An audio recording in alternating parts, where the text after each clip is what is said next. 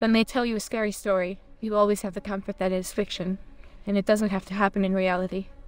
But when you hear a true story, the relief is few. Who can say you won't be the next victim, whose story ends up on the news? The story of the Russian couple, Natalia and Dmitry Baksheeva, went around the world, and now they are known as the Cannibal family. It all started about 20 years ago, when they began to commit murders and then eat their victims. This extends to 30 people, and do not think they ate the meat raw. They only cooked it and even used it to make pastries they would later sell.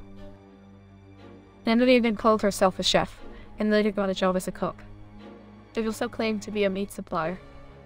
At first they lived on the grounds of a military academy, since Natalie worked as a nurse. All the people around trembled just thinking that they could have eaten human flesh.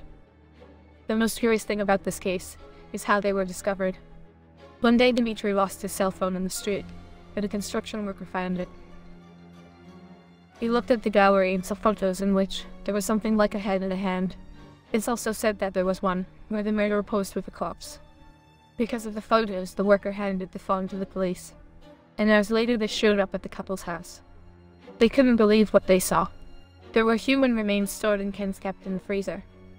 They also had 19 skin slices and 7 bags with human body parts hidden in the fridge.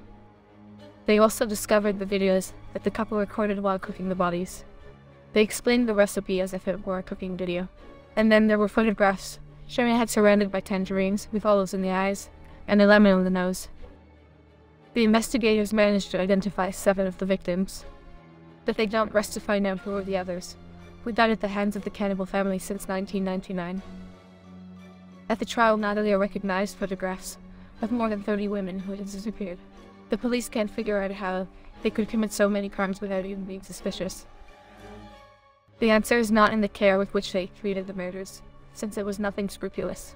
Maybe their eccentricity made them go unnoticed, but not the smell that came out of their house.